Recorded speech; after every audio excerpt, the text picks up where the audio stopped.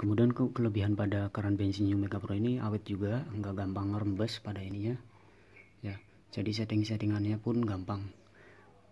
Jadi banyak teman-teman yang masih bingung cara menyeting off dan on on rest ya. Jadi mungkin tema ini udah saya bahas. Nah kemudian kalau misalkan on itu ngalir kemudian rest itu ngalir jadi bukan disebabkan dari kerannya.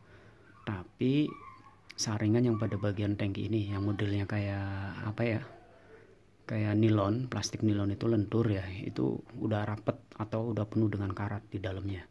Jadi kalau ininya itu waktu pas saya buka itu normal ya. Jadi ditiup udara keluar dari on dan rest juga keluar juga ya.